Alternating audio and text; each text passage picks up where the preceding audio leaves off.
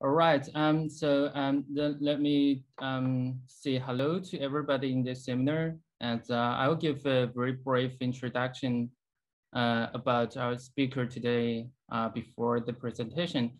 Um, so um, Professor Dr. Jenny Read is currently working at uh, the Institute of Neuroscience at Newcastle University. And Dr. Read has particular interest in stereopsis and has done extensive and massive works in this field. And her works range from the human psychophysics to computational models to clinical disorders. And today, Dr. Read will show us another very interesting aspect, which is uh, stereopsis in insects and compared with human binocular vision. So um, let's welcome, and it's your time now, Jenny. Great. Thank you very much, Jinu. Uh, delighted to have this invitation to come and speak to you. Um, definitely do ask questions during the talk, especially if there's anything I say that isn't clear so that we can clarify that before I continue. And then more open-ended questions we can have as a discussion at the end. I want to begin by uh, crediting the people whose work I'm going to be presenting here, notably Dr. Vivek Nityananda and Dr. Ronnie Rosner. The outline of what I'm aiming to cover today is a brief background on stereopsis, um, how wide evolved, a bit of a background on insect vision, because that's quite different um, from what many of us are used to, talking about how the sort of technical issues of studying stereopsis in insects. Then I'd like to talk about what we've learned from behavioural experiments, and finally some of the neurophysiological results about the neurological underpinnings of insect stereopsis. So to begin with, to get us all on the same page, what I mean by stereopsis is a perception of depth or distance that depends on the different views of the world that we have via the two eyes. So for example, if you're looking at an object like this mountain, so if you're fixating it by definition, it's projecting to the fovea in each image. So it's um, projecting to identical locations in the two eyes. But then consider a nearer object like this tree hopefully you can see that from the left eye's point of view, the tree is to the right of the mountain, whereas in the right eye's view, the tree is to the left of the mountain. So in other words, there's this offset or disparity between the view of the trees in the two eyes. And that disparity can be interpreted and used by your brain as a cue telling you that the tree is physically in front of the mountain. So as Jin mentioned, I've spent a lot of time studying stereopsis. So I thought I might try and convince you why this is an interesting or useful thing to do. One reason I think it's quite important is, is the clinical relevance, as again, Jin mentioned. So stereopsis is really challenging.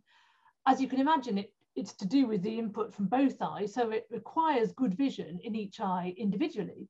It also, certainly in humans, requires good ocular motor control because you have to direct both eyes to look at the same point in space. And then finally, you have to have the brain mechanisms to put all that together and extract depth information. So if anything goes wrong at any of these points, then you won't have good stereopsis. And so perhaps it's not surprising that there are many disorders of binocular division, uh, binocular vision. It seems quite a demanding aspect of visual function. So you can have strabismus, where the eyes point in different directions, as shown here.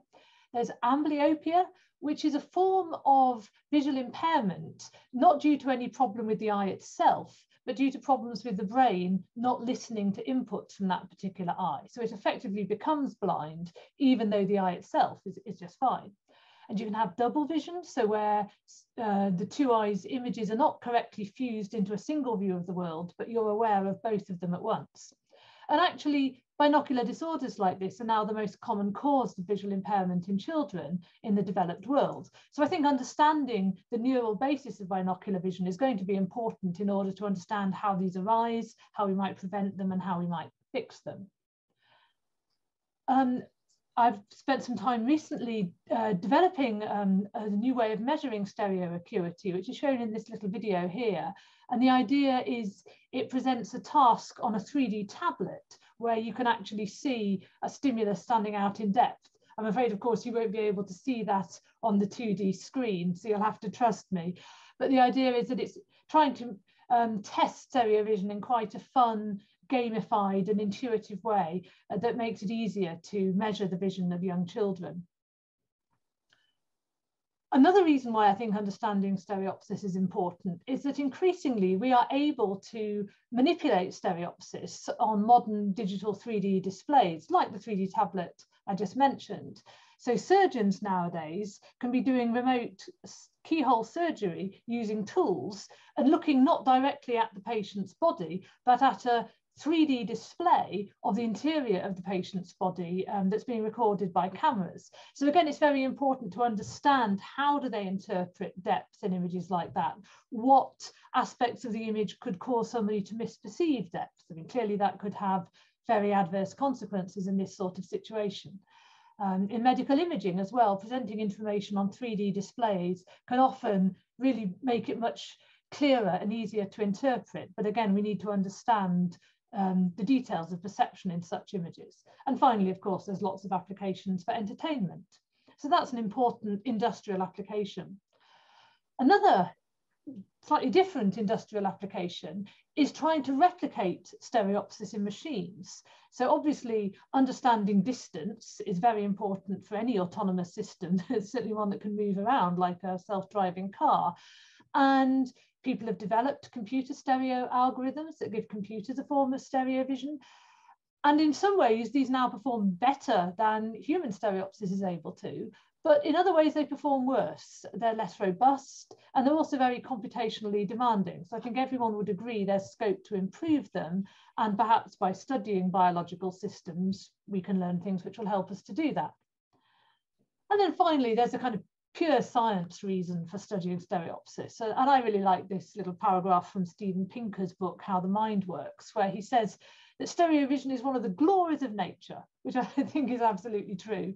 And this is how I tend to think of it. It's interesting in its own right, but it's also interesting as a particularly simple and a, a, simple form of perception where we understand the underlying geometry and the underlying laws particularly clearly. So we feel we have a, a clear idea of the task the system's trying to solve, and that makes it easier to then tackle how our nervous systems actually solving this problem. So I hope I've convinced you that stereopsis is worth studying. I also wanted to take some time to bust some myths about stereopsis, which I think are surprisingly widespread um, long after they should have died. So the first one I, I can illustrate with a quote from a book 100 years ago, um, that the ability to see objects in relief, stereopsis, is confined solely to man and to a few of the higher animals in whom the eyes are placed side by side. That's actually not correct.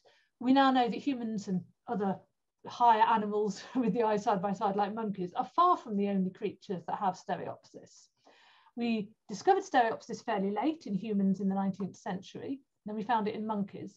But actually, we now know that you find it in prey animals like horses and mice and sheep, where the eyes are off to one side. You also find it in birds, interestingly. Now, we only know it in predatory birds, such as owls and falcons, um, who do have their eyes side by side. But interestingly, the anatomy of binocular vision suggests that even binocular vision itself independently evolved in mammals and birds, and therefore stereopsis must also have evolved independently in these two systems. For a similar reason, it must have evolved independently in amphibians. We find it in toads. Recently, stereopsis was discovered in cephalopods, in cuttlefish, and it's known so far in just one insect, the praying mantis. So I think that's a very widespread range of animals across the animal kingdom who demonstrably do have stereopsis. So it's certainly not true that it's restricted to man and a few of the higher animals. And the fact that it's evolved independently so many times suggests, I think, that it really must be quite important and valuable for many animals. Do jumping spiders not have stereopsis? My next slide. Oh, sorry. so exactly, people often ask, what about jumping spiders? Do they have stereopsis? Now, I think it's very likely that they do. It's extremely suggestive that out of their eight eyes, they have one pair that are right on the front, very large, high resolution, and of course they jump, so they need to know distance very accurately. So I would not be at all surprised if these eyes are doing doing a form of stereoscopic depth perception, but nobody has done an experiment to prove it. And of course, it's rather hard to do such experiments in these animals. So dragonflies, again, it's been suggested they may use stereopsis, so predatory insects. The hammerhead shark is suggestive because it's evolved this enormous head where the eyes are very far apart. So it's got a huge baseline, which improves the precision of stereopsis if you're doing stereopsis. But we just don't know. Um, I think watch this space, it's an exciting area and maybe some of you will do experiments in the future to investigate some of these animals. I want to come back to the idea of frontal facing eyes. So we've seen that you don't need front facing eyes to do stereopsis and actually arguably it it actually makes you worse at stereopsis, right? So this is a little sketch of two creatures which differ only in that this one has their eyes placed laterally and this one has the same eyes placed frontally all you need for stereopsis is some binocular overlap. There's some region of space where objects can be viewed from both eyes. And within that, lateral eyes actually give you a wider baseline.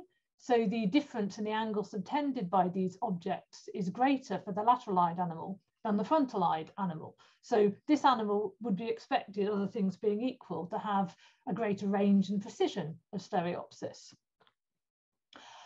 Front-facing eyes you can think, well, what advantages do they give us? They give us a particularly wide binocular overlap. So you see in this example, the binocular overlap is extending um, closer to the animal. Um, and if you rotate the fields of view, um, you can get a wider binocular overlap in angular terms as well. So, you know, that might be useful, not necessarily just for stereopsis. You might um, need that for other uh, binocular advantages such as improved contrast summation. One thing that they do do, I think, is front-facing eyes can improve optical quality in the frontal area. And to illustrate this, um, I've drawn here a picture of a bird with lateral placed eyes, so maybe like a starling or something. So many birds, the optical axis, the center of symmetry, kind of by definition, tends to be in the middle of the field of view. And so if you have lateral eyes, then your optic axes are pointing outwards. But for many animals, the region directly in front of you is going to be the most relevant. So many birds have got a kind of fovea analog, um, a region of high neural quality directly in front of them. But the optical quality is generally highest in imaging systems along the optic axis. So a creature like this with lateral eyes has its highest optical quality off to the side, even if it's trying to get high neural quality in front. And by swinging the eyes round, as we do in primates, we bring the optic axis and the central vision, the fovea, closer together. And so if you're really trying to get good image quality at the fovea, that's probably something you need to do just for optical reasons. It's not necessarily clear to me that stereopsis um, is the driving force behind that. Uh, maybe you just want good monocular vision. Okay, so those are the advantages that I can identify for front-facing eyes, um, wide binocular overlap and improved optical quality, which is especially important when the pupils are large, and so the depth of focus um, is particularly narrow. Both of those might be especially important at night in low light levels, which make your pupils big which means that optical quality is particularly important. And so maybe that's why we find these front-facing eyes, particularly in nocturnal animals, whether it's the bush baby or the cat or the owl or the kakapo, the New Zealand night parrot. Anyway, that was a bit of a digression on some myths of stereopsis, but let's get back to mantids. Now I said no one knows whether jumping spiders have got stereopsis, but how do we actually know that mantids have got stereopsis? Well, the answer is that was demonstrated really convincingly with a beautiful paper from Samuel Rossel back in 1983. And so some background, praying mantids are ambush predators. So they lie in wait And when a fly or similar tasty morsel comes within range, they strike out with their spiky forelegs and they grab it. And so this is why depth perception is important, right? You have to know when to launch your strike. And it had long been speculated that they do this by measuring the binocular disparity, um, the difference in position of the object as viewed from each eye. And Rossel set out to prove this, and he did this in a very clever way by putting prisms in front of the animal's eyes, base out prisms. Now, of course, the thing about a prism is it bends the light ray. So uh, Rossel um, suggested that if the animal was using stereopsis to deduce where its prey was, then when the prey was really over here, the mantis would think the prey was there, and so it would launch its strike prematurely. And sure enough, he showed very beautifully that exactly that happened. And furthermore, the pattern of strike errors varied with the angle of the base out prism in exactly the predicted way. So this was really compelling evidence that the mantis must be using binocular disparity because all the other depth cues you can think of, you know, maybe like motion parallax, if it moves its head, or looming as the object gets closer, none of those would be changed by the prism, only binocular disparity. So when I came across that work, I was really struck because I'd also been struck by the similarity of stereopsis across mammals and birds, basically. So it's been studied extensively in monkeys mainly, and also barn owls amongst birds. And Robert van der Willigen wrote a paper summarizing the results that owls see in stereo much like humans do, which I've always thought is very remarkable, given that these are two extremely different animals occupying very different ecological niches and which have independently evolved stereo vision, and yet it ends up being really similar in both animals. And to talk about why, it's similar, I want to mention the stereo correspondence problem. So this is something that you have to face in stereopsis. You start from the retinal images and you're trying to work out what's in the world in front of you. And that requires you to match up which objects in space correspond to the same objects on the retina, okay? And how do you know that you're looking at a situation like this with two objects at roughly equal depth and not at a situation like this? So the retinal images haven't changed between these two situations. The only thing that's changed is what objects on the two retinae belong together. And I've indicated that with the, the pink and black color coding. This problem is placed at its most extreme in abstract patterns like this random dot pattern, and there's some evidence that I'll touch on later that vertebrate stereopsis works by cross correlation. So in both humans and owls, the way stereopsis seems to work is that as it were, you can think of it as sliding a piece of the left image across a piece of the right image. And where the correlation is highest, that's where you know, the images must match. So as I say, there's evidence that that forms the basis of stereopsis in humans and in owls. And also in many machine vision algorithms. So again, you, you assess matches between the two by using a goodness of match metric, often based on cross correlation. So as I say, I was struck by the fact that the mechanisms of stereopsis seem very similar in these two taxa. And so when I heard about insects, it naturally made me think, oh, what about these? And so that's really what got me into stereopsis in insects, trying to understand how it works and how it relates to human and bird. But before I dive into what we found out, I want to bust a few myths about insect vision as well while I'm at it. So when I talk about this work, a common question people ask me is, well, isn't everything completely different in insect vision because they have these compound eyes, right? It's, it's all utterly different. And I want to argue they're less different than you might think.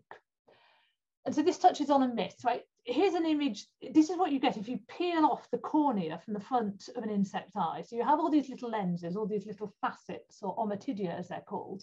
And if you hold it up and look through it, you see a series of replications of the real world. So this is the number seven viewed through a bit of insect cornea, and you can see it, each, the, the letter is replicated and you see it in each of the facets.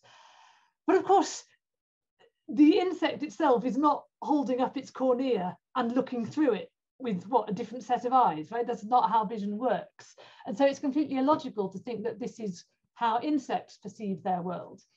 And people have it was briefly suggested in the 19th century that animals might, insects might see their world replicated in this way, but it was rapidly dismissed as, you know, no, that, that's not how it works. And yet it's a bit like the front facing eyes. It's a myth that won't die. Um, you can see it in this 1958 um, movie, The Fly. So this is about a scientist who carelessly gets his head transformed into a fly. And now we see, as it were, through the fly's eyes.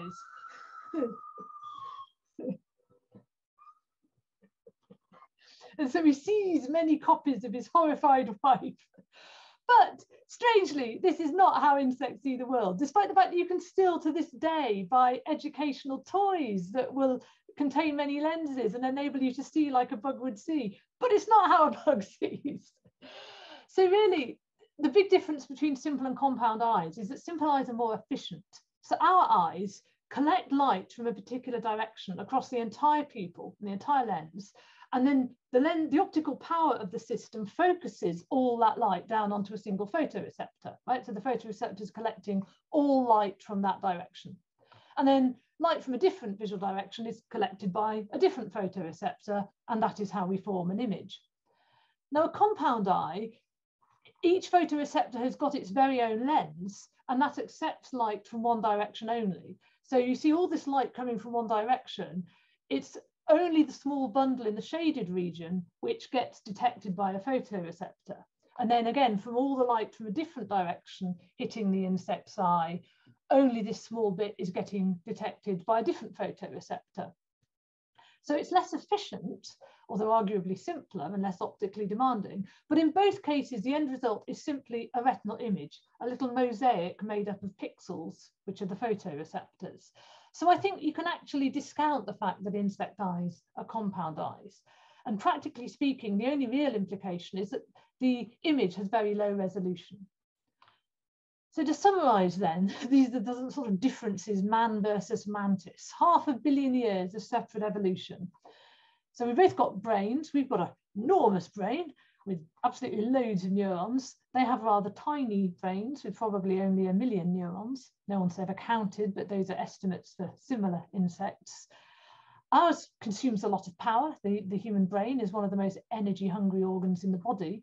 Insects overall can um, consume very little power. Our mantids live off one or two crickets a week and that keeps them going. Uh, we've both got two eyes, Ours a simple, there's a compound, but we've seen that doesn't really matter. Both of them have, I put a fovea, technically a region of high visual acuity. I mean, technically a fovea is the pit in the retinal surface, which mantids don't have, but they have an area of high acuity like we do. We've got really good resolution and they've got very poor resolution, even in their fovea. Our eyes move around all the time, clearly, and we can also accommodate to adjust our focus. Mantis eyes are fixed on their head, and they also have fixed focus. So we've got very different hardware, but both of us are doing stereopsis. And we wanted to ask how. So the first problem we faced was how do you present stereoscopic 3D images to an insect? And that occupied basically the entire first year of Vivek's work with me. Vivek is now running his own lab as a David Phillips Fellow at Newcastle University. Now you might say, well, didn't Rossel show you how to do this? But the trouble is with the prisms, they basically can only shift the entire image nearer or further away stereoscopically, which is of course very valuable, but we wanted to display the more complex kind of stimuli that have been so valuable in humans and monkeys and owls and so on, in really dissecting apart how stereopsis worked. And so we needed to come up with a different approach. And I've got a little video clip uh, showing the solution that we came up with. So how can this animal with such a minute brain have stereo vision? And how would you even test this? Vivek decided that the best way was to take the insect to a 3D action movie. Really? In order to see the movie, Vivek needs to make some very, very tiny 3D glasses for the praying mantis. We came up with the idea of 3D glasses. With these two different glasses on each eye, each eye could be shown a different stimulus. So after various attempts at getting this done, the one approach that seemed to work was to use colored filters.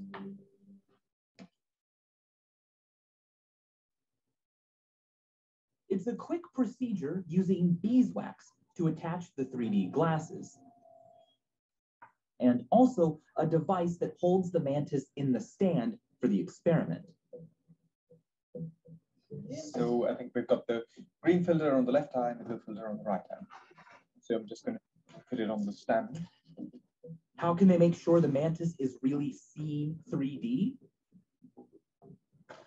Praying mantises will only strike at prey if they are close enough to their target. Jenny and Vivek make sure that the computer screen is out of the mantis's strike range, but the 3D target is within it. And if the mantis actually sees stereoscopically, it will strike at the 3D target, thinking it is close enough to go in for the kill. Okay, should we go? Yeah, and that's good.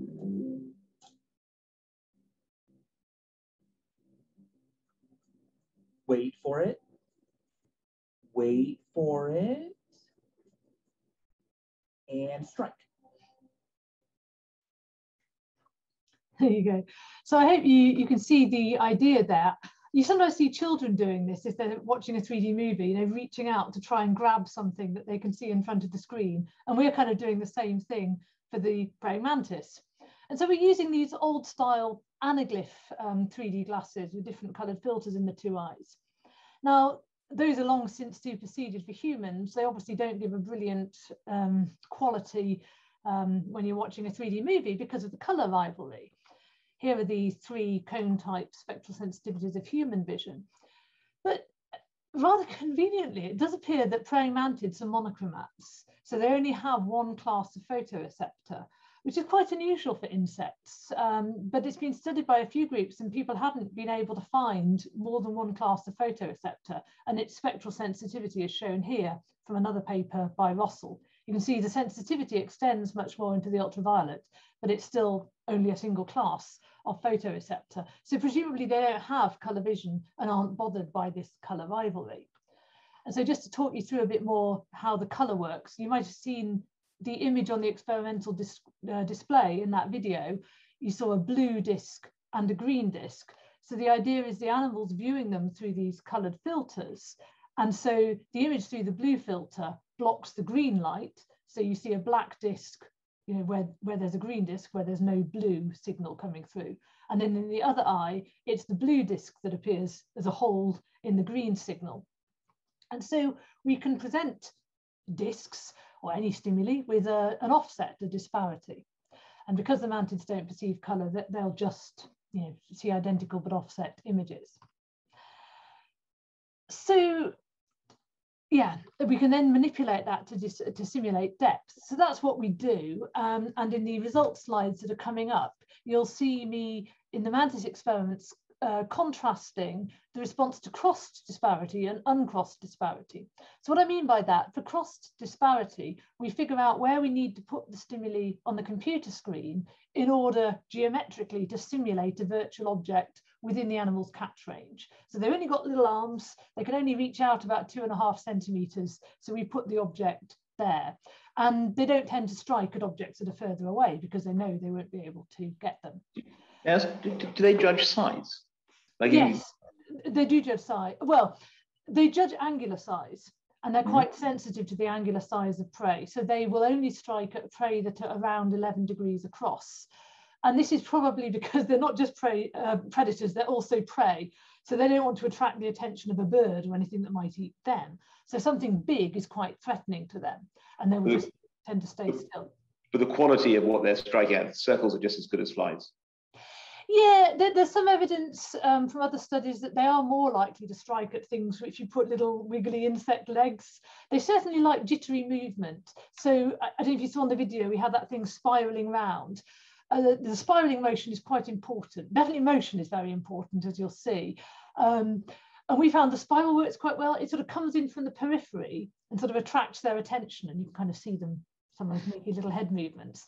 And it they're watching it, and then it sort of comes to rest tantalizingly right in front of them, and we have it sort of jitter in place, and then they reach out and try and go for it.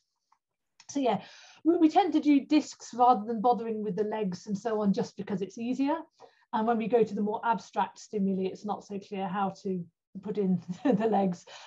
Um, we're always doing this trade-off between stimuli that are natural enough that the animals will strike, because we can't force them to strike, and yet um, abstract enough that we can ask the scientific questions we want to ask. And, and you'll see that going forward.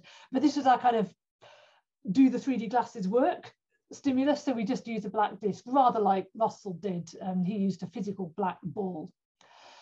So this is our control, basically, the uncrossed, because you might say, ah, oh, they just like seeing, you know, two discs on the screen. That's what's getting them going. But in the control condition, we swap the left and right images. So once again, there's two discs on the screen, but we've um, disrupted the disparity relationship between them. And of course, we also do controls for which eye is wearing which filter and seeing which color disc. Um, and basically, they never strike in the uncrossed condition, which is confirming that they are indeed using, uh, they are experiencing a stereoscopic percept with our 3D glasses. Okay, so so, uh, can I ask a question there? Yes, um, please. um, uh, uh, did you also try the uh, like a white disk against the gray background? I mean, are they also responding to that stimuli? They Yeah. respond much less. So the existing literature um, on mantis prey preference had indicated that they are much more likely to strike at a dark object on a bright background than vice versa, which we think is because, you know, the, if you think of a fly against the sky, it's darker than the background, and that tends to be true of the prey that they're going for. So we've mainly con concentrated on things that are either camouflaged against the background or darker than the background, depending on the question that we're asking. Mm -hmm. Right, so if we can finally get on to trying to probe how their 3D vision works. And I want to tell you a little bit about what we've learned so far. So the first question I wanted to go after was this question of cross correlation. So the idea that correlation is the fundamental goodness of fit metric in human stereopsis and in owl stereopsis. So what about mantis stereopsis? And I wanted to use a stimulus that Xiaoping will be extremely familiar with, um, the anti-correlated random dot pattern. But for those of you who aren't quite so familiar, um, by a correlated random dot pattern, I basically mean what I've been talking, or a correlated stereogram is what I've been talking about so far. So the two eyes images are identical apart from an offset that corresponds to the disparity. And we're just using a random dot pattern because it's very abstract and doesn't have any other cues to depth apart from the disparity.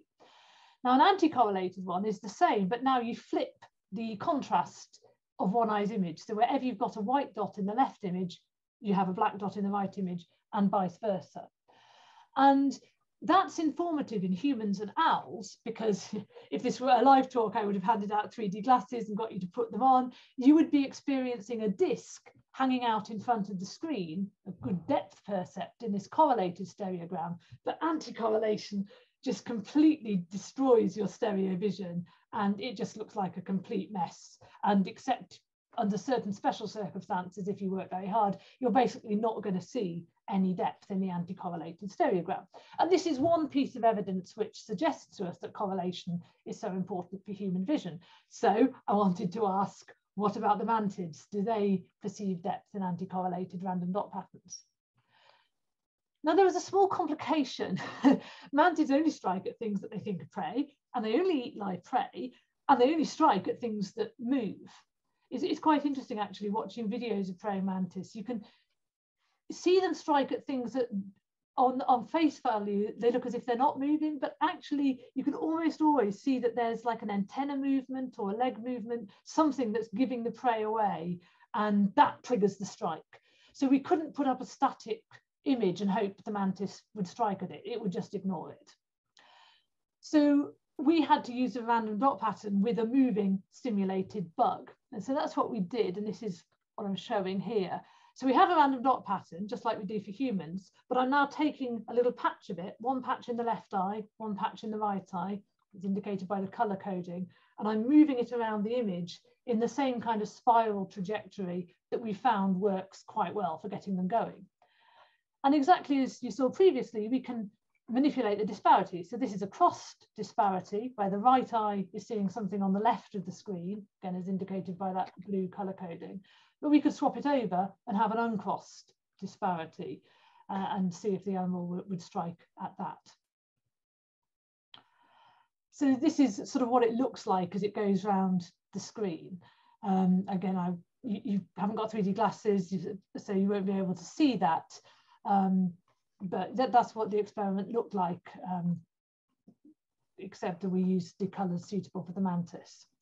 And one thing I wanted to point out is that the, the target is perfectly camouflaged in any single frame. So if I pause the video like this, you can't see where the target is. There's literally nothing that could give it away other than its disparity. So monocularly in a single frame, it, it's beautifully camouflaged. Of course, the motion breaks the camouflage, um, you know, for, for, a moving object. So we use that stimulus, um, and what I'm plotting here is distance from the screen. So it's perhaps a slightly odd way of, of displaying it, but I did that for comparison with the human um, results. So the screen's at 10 centimetres. So our crossed condition, where the object is 2.5 centimetres in front of the animal, it's 7.5 centimetres in front of the screen. We also did one where there was zero disparity, so the stimulus is on the screen, and then the undefined distance is the uncrossed, where actually the lines of sight diverge, so there is no difference. And then we're plotting the probability that these mantises, you can see there there's around 10 of them, probability that they would strike at the different conditions. And you can see they're far more likely to strike at the crossed condition than the uncrossed, even in these complex images where the target's perfectly camouflaged in each frame individually. So that was an interesting result straight away. It interested me. but the really interesting thing I thought was the anti-correlated results. So in exactly the same way, we can now flip the contrast polarity of the dots in one eye. So just to show the human results, we, we did it with the moving spiral disc just for completeness, but we sort of knew what we were going to find. We asked people, do the, does the disc look in front of or behind the screen? And when the disparity was such that the object was closer the, than the screen, the geometry specified that it was closer, people correctly report that it appears closer. When it's far away, they correctly report that it appears far. When we make the dots anti-correlated, or uncorrelated, which is where we just use unrelated random dot patterns in the two eyes. They're just completely at chance. So different individuals adopt different strategies. Like you can see some people are always answering far, some are always answering near. Um, but overall, their response is not varying with the sign of disparity. So they can't discriminate the sign of depth in these images. Okay, so we knew that would happen from the extensive literature on humans, but what happens in mantids?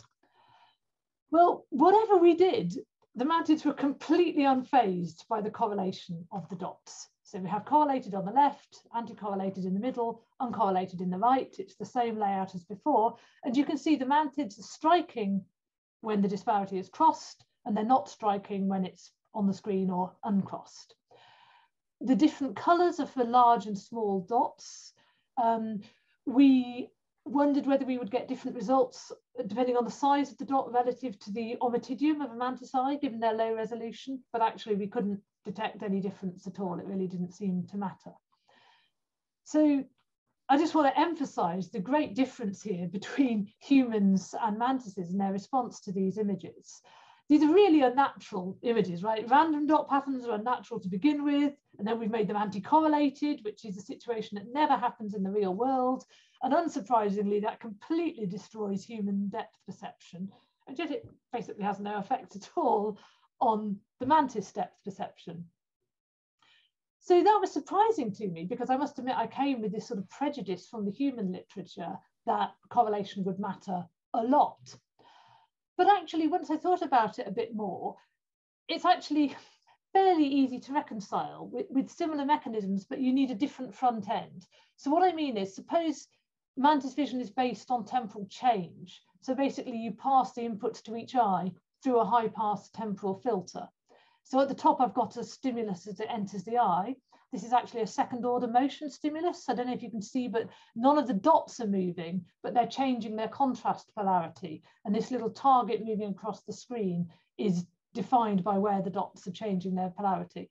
So like these white dots here, you might notice them briefly changing black as the target passes over them. But if you pass that through a high pass temporal filter, you get a little ring as the contrast changes. And if the mantis visual system is doing that at their front end, then that would explain these results. You wouldn't be sensitive to the correlation because you're just asking, is something changing in the two eyes? And then you extract the disparity of the point in the visual system where things are changing. So that could be how mantis stereopsis ends up looking so fundamentally different to human. That human stereopsis is based on this really detailed pattern of light and dark in the two eyes, but mantis stereopsis, it seems, is based on where images change over time and is actually insensitive to the details of the pattern of light and dark. So if you want to read more about our logic and you know, the um, different experiments we've done um, to um, back up that claim, then I'll point you to these two papers. But if it's all right, I'd like now to move on to the neurophysiology results that we've done so far. Um, has anyone got any sort of questions at this point about the behavior? Just one question. Do they ever adapt? Like, so in the case that you did the PRISM experiment or the, the Rossel Fleets PRISM experiment, will they in the end, will they learn that they're? There's no evidence that they do. Um, I don't think anyone's really tried testing it long term. So Rossel just put them in front of the prisms for, you know, an hour or so. Um, my guess would be that they probably wouldn't. I don't think they have that kind of plasticity built in. I think we have to because, you know, we've got mobile eyes, our eye muscles change over time. We live 80 years, we have to develop these mechanisms. My guess would be that they don't, but I'm afraid we just don't know. I guess some another line of evidence that leads me though that conclusion. There's a really nice paper showing that even if they're raised in the dark, as soon as you give them light, they know how to use stereopsis, which suggests that it's hardwired to a far greater extent than humans. As you know, if you raise kittens or God forbid human babies in the dark, they would not have normal stereo depth perception or normal vision when they emerged.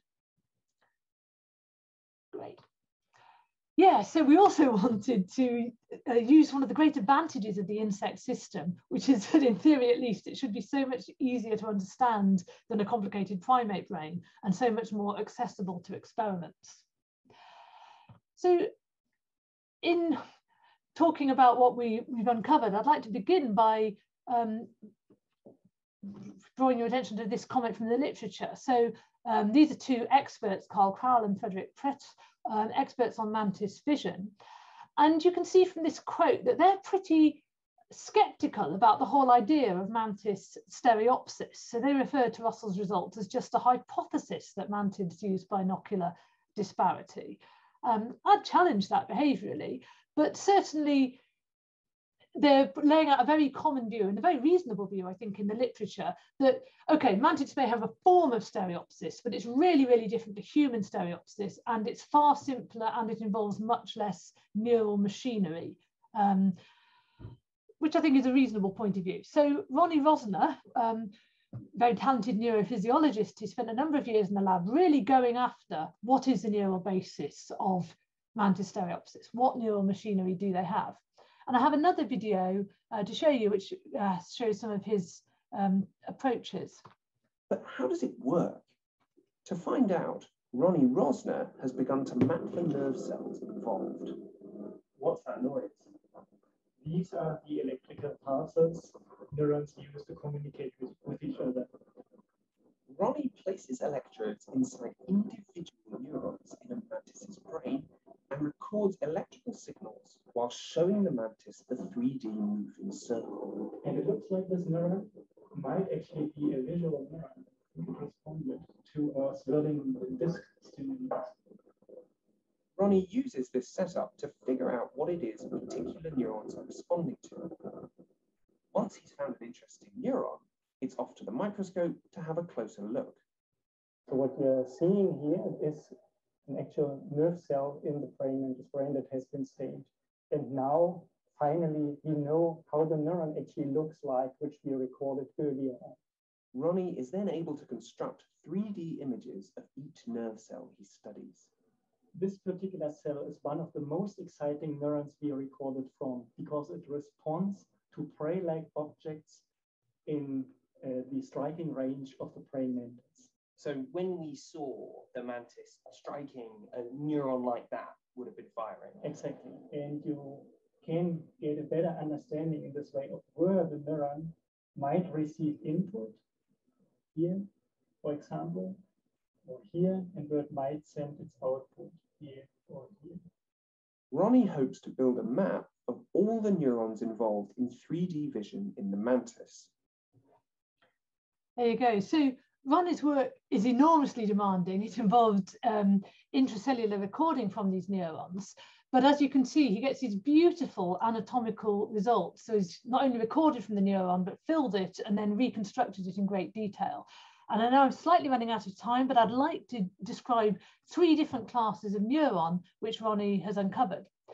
And he's named them based on their anatomy. And the first one he called TAOpro. And this is a neuron that he found because it was tuned to the disparity of the spiraling disc. So we have the, the control condition, the uncrossed, and the near condition. And what you're seeing, the top is just a graph of the stimulus, um, X and Y position. And then this raster plot is the response of the neuron. Um, and then at the bottom, you have that averaged into a firing rate, impulses per second as a function of time. And you can see it is responding to the uncrossed uh, situation, but it's responding a lot more to the crossed uh, disk with the disparity uh, indicating that it's within catch range. So that was very suggestive, but there are a number of ways in which a stimulus like this is uncontrolled. It could be subject to various artifacts, like maybe um, there's a monocular neuron and it depends exactly where the monocular receptive field is. So we wanted to do a more controlled stimulus. And so Ronnie introduced this disparate bar stimulus. So instead of a disc, we're seeing a vertical bar on the screen or two vertical bars, one in each eye. And the rationale there was that by using a vertical bar, we didn't have to waste time trying to localize the receptive field, at least along the vertical axis, which is less important for disparity. Uh, disparity is all about the horizontal offset. And Ronnie isn't able to hold these cells for very long. He'd only got them for about 10 minutes max, maybe less. So time was definitely at a premium here. So seen from above, you've got, we had six different possible bar positions, um, each uh, subtending 13 degrees, and six different possible locations in both eyes. So a very coarse sampling, but again, because of reasons of speed. And so there are 36 possible combinations of binocular bars, and we also added in the six monocular positions in each eye.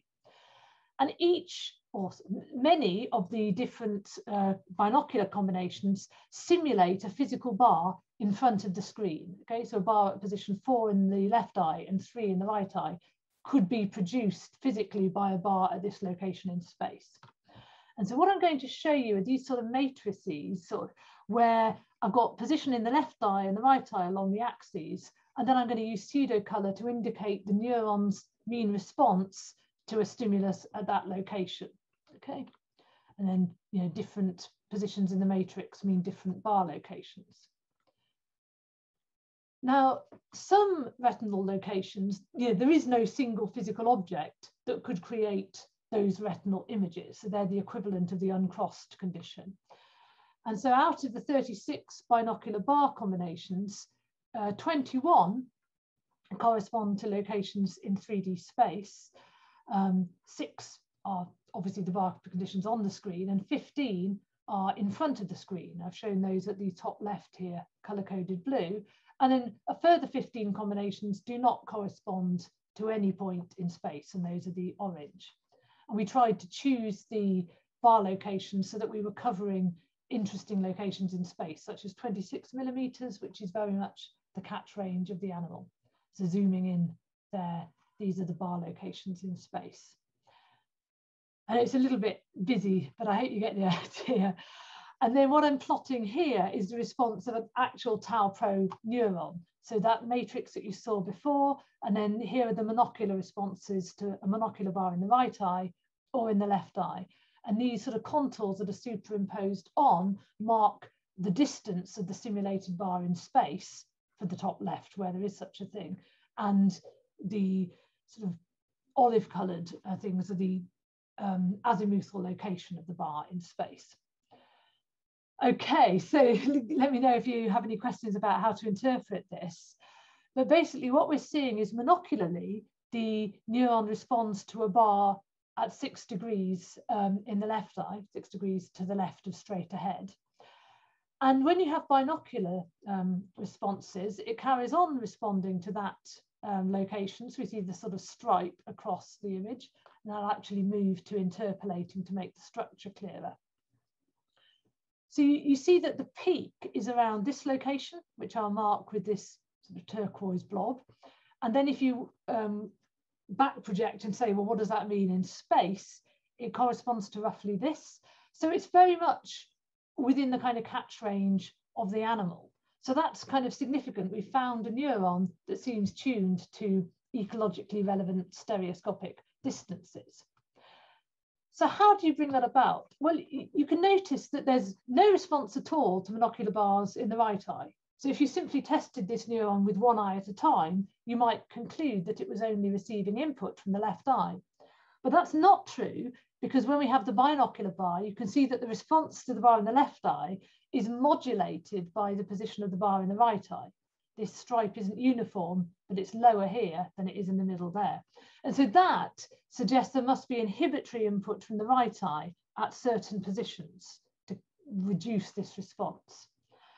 So to model that, we went to a model that's very familiar from the vertebrate literature, introduced by Ohzawa et al. in 1990. It's really simple and it just suggests that there's a receptive field in the left eye and in the right eye, and you compute the inner product of the image with the receptive field in each eye individually, and then you combine them linearly.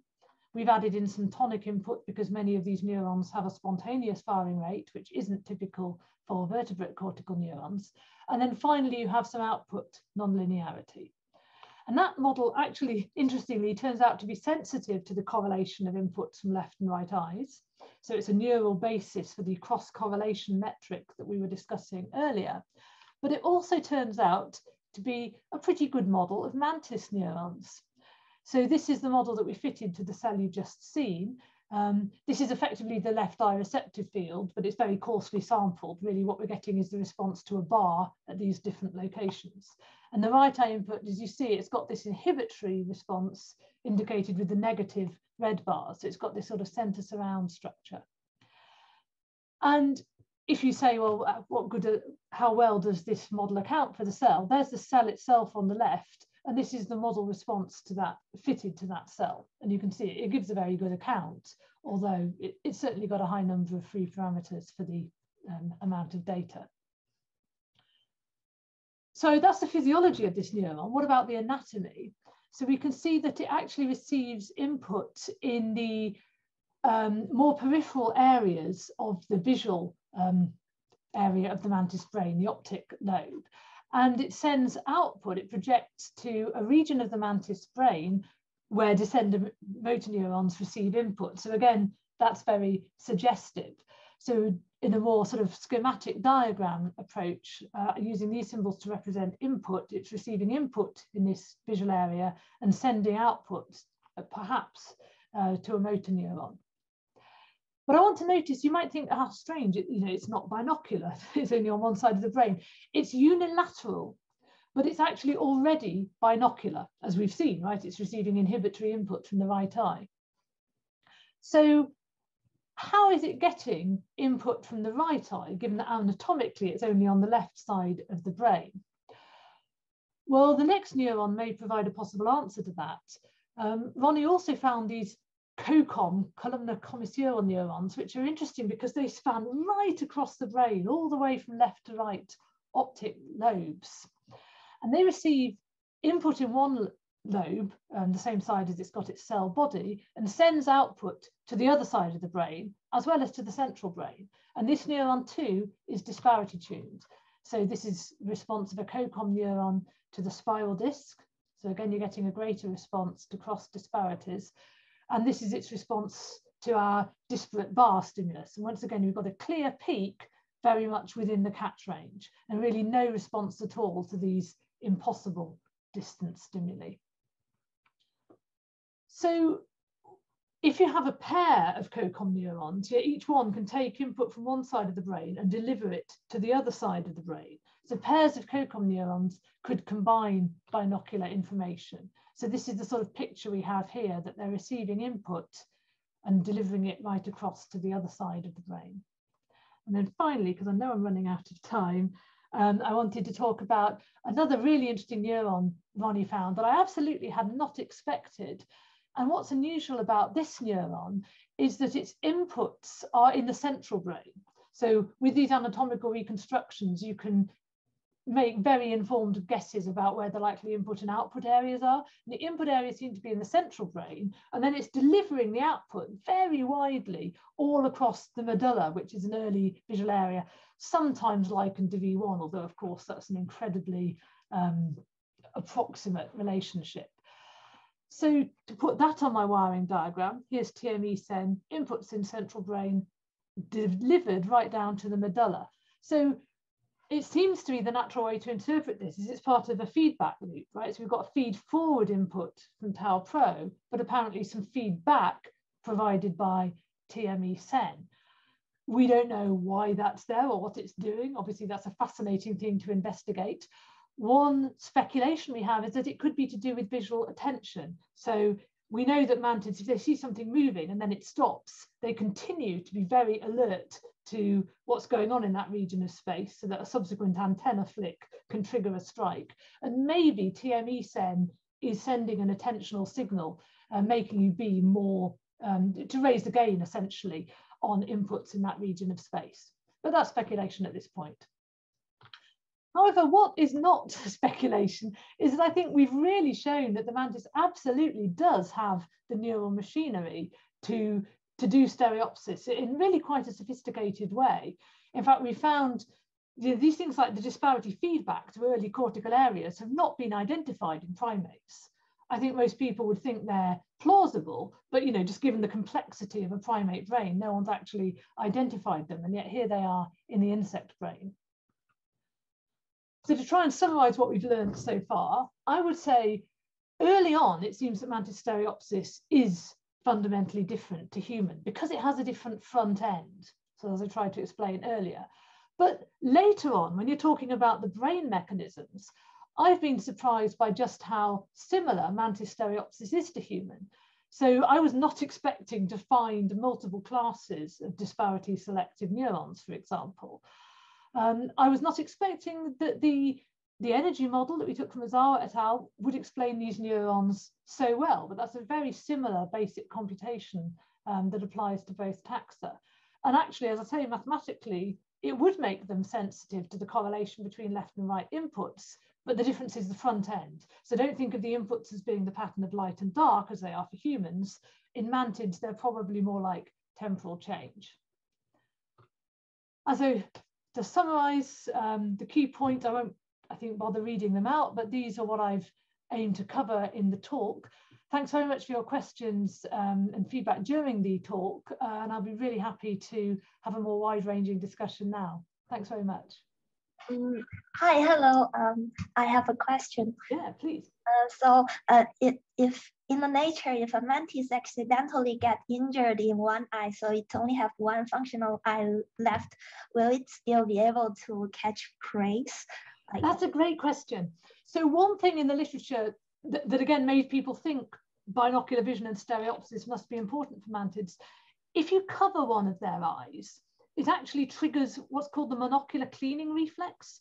So instead of behaving normally, the animal stops what it's doing and kind of goes like this and apparently it's a, a way of trying to get off whatever you know leaf or bit of gunk has got over its eye I don't know if if you don't then remove the covering I actually don't know if they starve to death or if they hunt but I, I I'm pretty sure that they're strongly impaired so it really seems that their binocular vision is very important for successful hunting okay thanks thanks a lot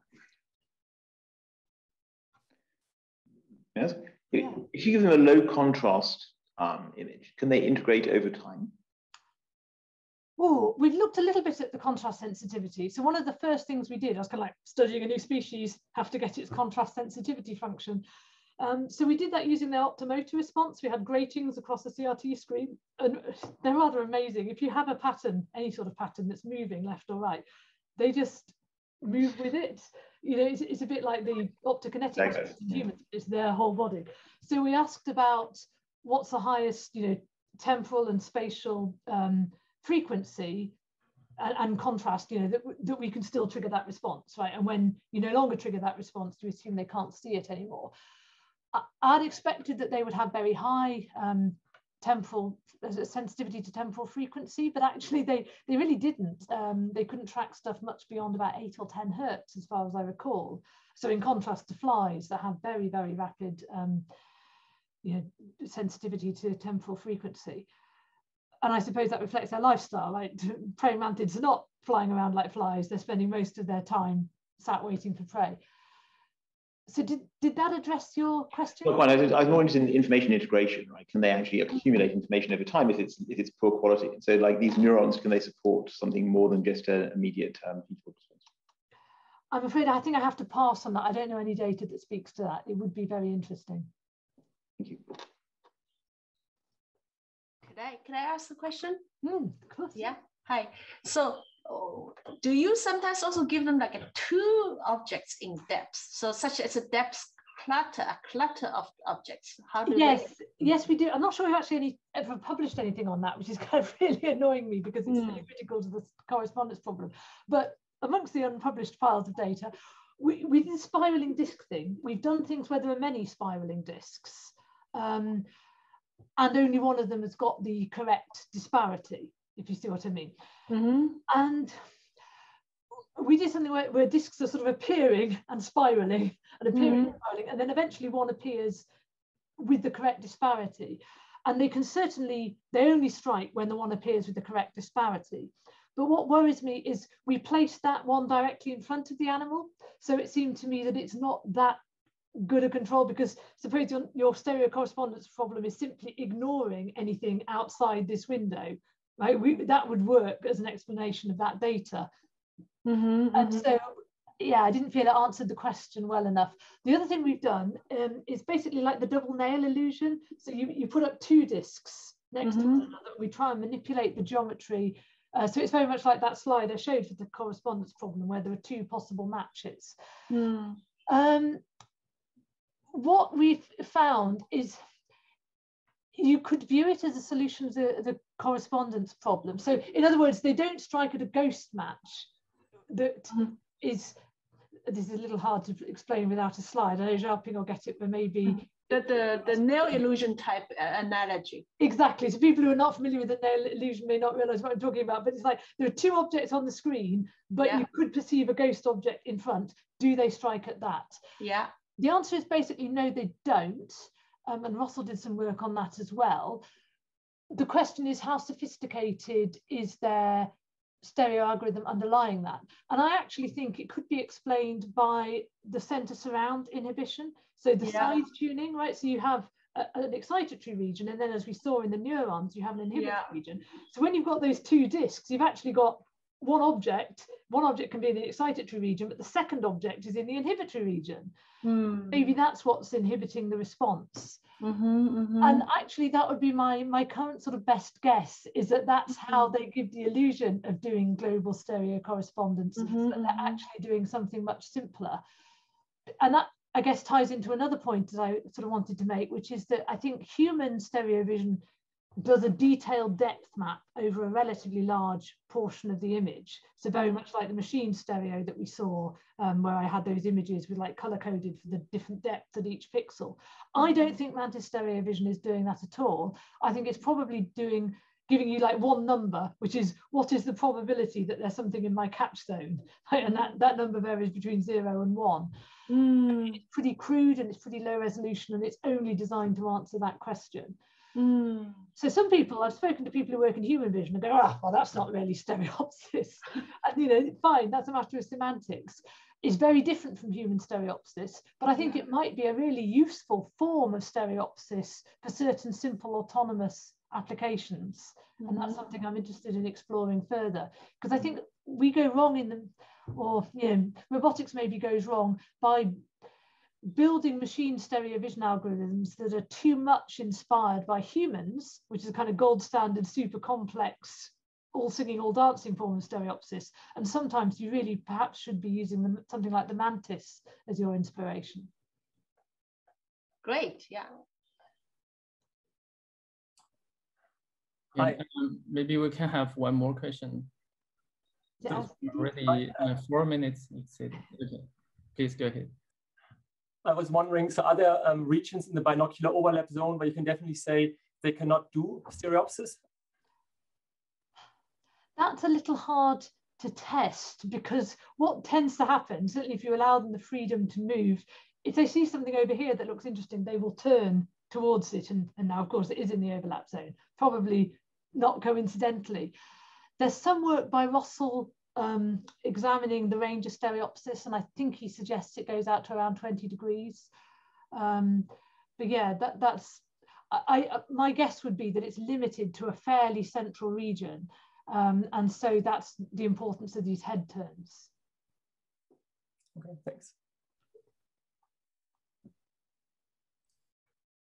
Okay, um, the, um, uh, thanks, Jenny, for your um, wonderful talk and uh, also um, your nice works and intriguing uh, presentations today. So um, uh, we will have the uh, one by one meeting next. So um, I think the session um, will be closed for other audience.